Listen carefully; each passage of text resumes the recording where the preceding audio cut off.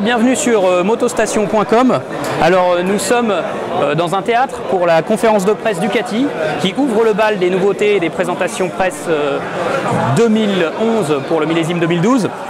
Alors, Ducati a présenté sa nouvelle 1199 Panigale, sa sportive révolutionnaire pour 2012. On va s'approcher de la moto et vous la montrer en détail. La ligne tout d'abord de cette nouvelle Ducati 1199 Panigale, elle tranche radicalement avec euh, la 1098. Elle a des petits feux à LED à l'avant, une coque arrière très effilée.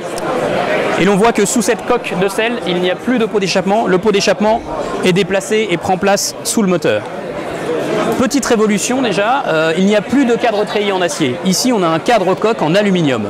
On le voit ici.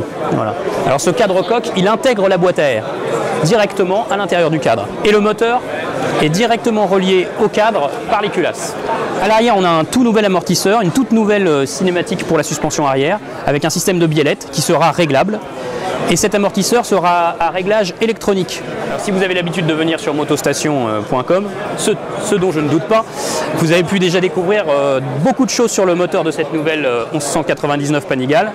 Alors c'est une, là aussi une révolution hein, par rapport à, ce que fait d'habitude euh, Ducati.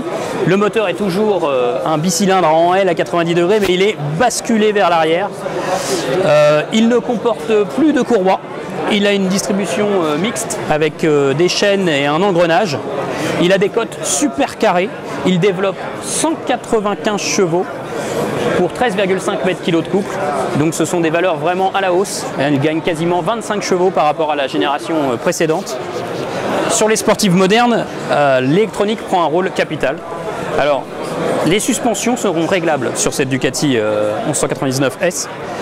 Et on aura aussi bien sûr l'anti-patinage et maintenant un ABS déconnectable. Et tous ces paramètres vont pouvoir euh, être gérés du tableau de bord directement.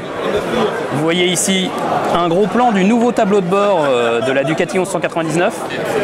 C'est un écran TFT. Je suis en train d'essayer de rentrer dans les menus, mais visiblement c'est impossible. Ça a été bloqué pour les besoins de cette conférence de presse. La nouvelle Ducati 1199 Panigale sera disponible en mars 2012. Elle sera vendue 18 990 euros en version standard, à laquelle il faudra rajouter 1000 euros pour avoir l'ABS. Ou 23 990 euros pour la Panigale S, que vous voyez ici, qui disposera d'un meilleur package électronique avec les suspensions ajustables. Et libre à vous de vous exprimer sur la plastique de cette nouvelle 1199 Panigale sur le forum de Motostation.